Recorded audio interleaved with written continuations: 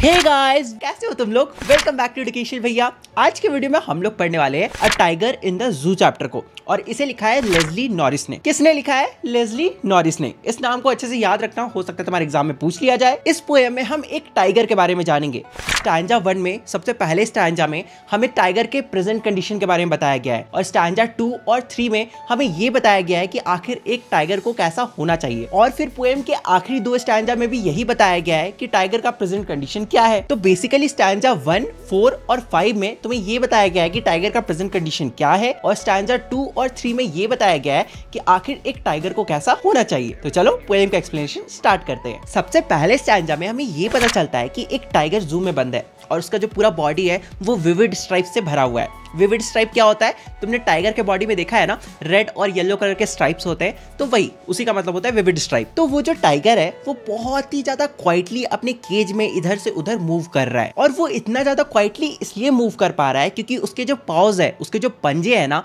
वो बहुत ही ज़्यादा थिक और सॉफ्ट है।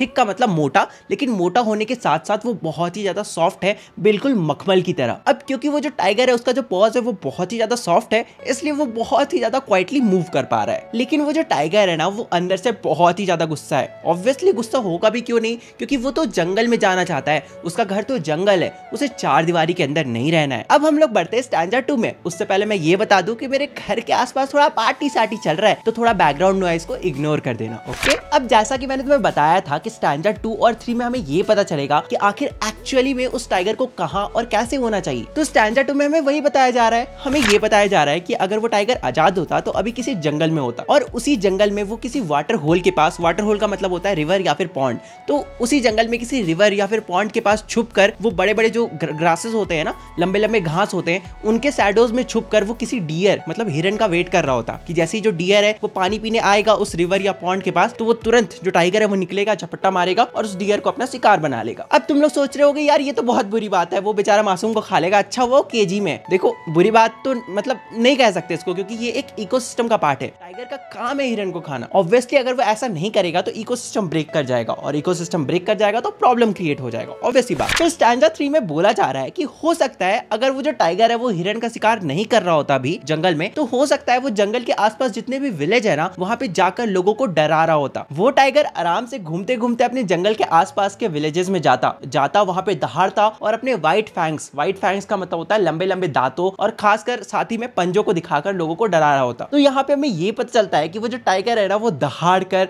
अपने दांतों को दिखाकर और अपने पंजों को दिखाकर लोगों को डरा रहा होता। फिर हम आते हैं स्टैंडा फोर और फाइव में, जिसमें हमें ये पता चल रहा है कि टाइगर का प्रेजेंट कंडीशन क्या है। तो यहाँ पे हमें ये बताया जा रहा है स्टैंडा फोर में कि ये जो टाइगर है, ये आज़ाद होता, तब तो जंगल में घूम रहा होता, तब तो हिरन का शिकार कर रहा होता, लोगों को जाके विलेज में डरा रहा होता। लेकिन ये एक्चुअली कहाँ पे ये तो बिहाइंड द बार्स है मतलब कॉन्क्रीट के सेल में बंद है। इसलिए इस टाइगर की जितनी भी ताकत है, जितनी भी स्ट्रेंथ है ना, वो बार्स के अंदर ही है। मतलब ये कुछ कर नहीं सकता है। ये जो टाइगर है ना, ये बहुत ही ज़्यादा हेल्पलेस है। ये कुछ भी नहीं कर सकता है। इसका जितना भी ताकत है, ये अपना पूरा ताकत भी लगा देगा, तब भी ये कुछ नहीं कर सकता क्या ही कर सकता है? जेल तोड़ के थोड़ी भाग जाएगा।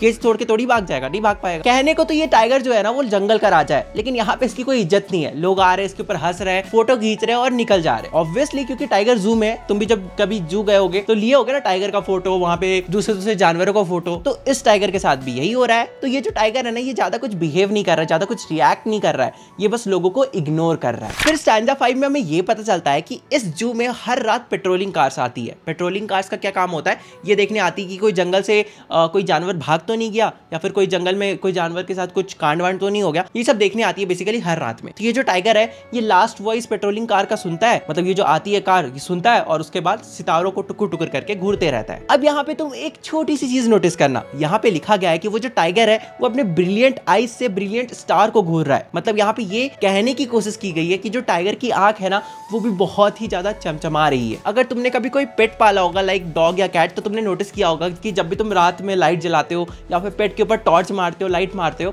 तो उनकी जो आँख होती है ना, वो रात में बहुत ज़्यादा ग्लो कर रही होती है। तो उसी तरह इस टाइगर के बारे में भी बोला गया है। अब मुझे ये इसलिए पता है क्योंकि मेरे पास भी पेट है, जिसका नाम गुफी है, मेरे बगल में बैठा हुआ है। वो एक डॉग है। और और कुछ बोलने के लिए नहीं है। ठीक है, इस तरह से तुम्हारा ये जो चैप्टर ये जो पोएम है, ये खत्म होता है। आई नो बहुत ही ज़्यादा इंटरेस्टिंग और बहुत ही ज़्यादा छोटा सा पोएम था। अगर तुम्हें मज़ा आया तो वीडियो को लाइक करना चैनल को सब्सक्राइब करना। और ऐसे ही तुम्हें क्लास टेन की वीडियोज़ देखनी है तो मैं ऑलरेडी अपलोड कर चुका हूँ। तुम डिस्क्रिप्शन में जाओ, एक प्लेलिस्ट का लिंक होगा सबसे ऊपर क्लास टेन न्यू प्लेलिस्ट करके, उस पर क्लिक करो और सारे चैप्टर्स की वीडियोज़ देख डालो। ठीक है तो फिर मिलते हैं अगले वीडियो में। तब तक के लिए बाय बाय